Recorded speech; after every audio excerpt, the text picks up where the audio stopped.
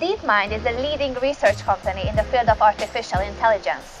They seek to build programs that can learn to solve complex problems of the world without being taught how. Founded in 2010 in London and acquired by Google in 2014, the company now has its main offices at King's Cross St. Pancras. I'm going to visit this mysterious place and ask renowned figures of the chess community what they think about DeepMind's general purpose artificial intelligence system, AlphaZero.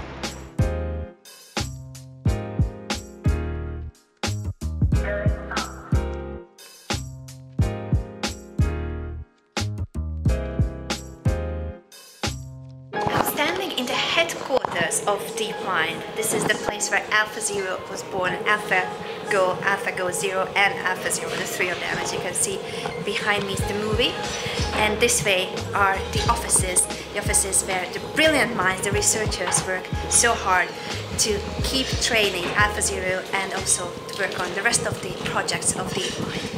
Let's talk to distinguished guests and players of the London Chess Classic to see what they think about AlphaZero, the AI system that taught itself to play chess from tabula rasa through reinforcement learning and is now stronger than any chess engine in the world.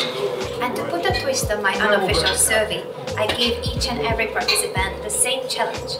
Describe AlphaZero in one sentence. AlphaZero is the closest we've come to chess purity. I think it's a breakthrough in artificial intelligence in chess. An incredible optimization process that has discovered its own ideas about chess. It's like a chess from a different planet. The way AlphaZero plays feels like it's stockfish on acid. AlphaZero strikes me with his uh, long-term positional sacrifices. Better looking, younger, faster version of me. AlphaZero is creative, attacking, and purposeful. AlphaZero goes its own way. It's a freaking beast. I will be really impressed by AlphaZero when I see it dealing well with incomplete information systems. The best way to describe AlphaZero would be a very creative human-like program that would simply be a tremendous chess player. Where chess meets scientific progress. The nearest thing I can think of is that we were playing against a combination, a consultation team of Karpov and Tal, in which they also had computer assistants.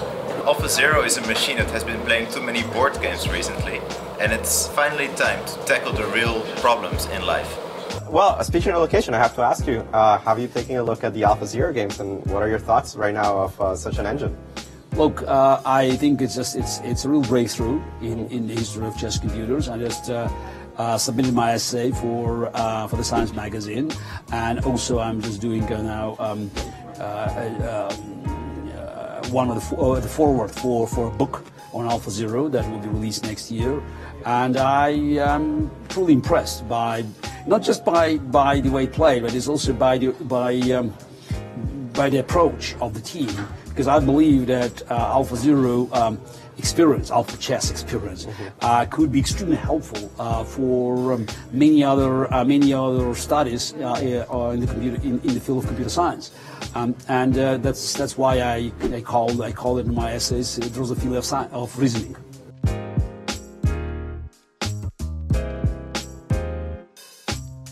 See some more of AlphaZero, see our book Game Changer, which is coming out in January. And uh, there are lots more AlphaZero games, and you learn lots of fascinating stuff about how it plays, how it trains, and how it thinks. They seek to build programs that can learn how to solve complex problems of the world by... my hair is in my mouth! At least I have a, a blooper.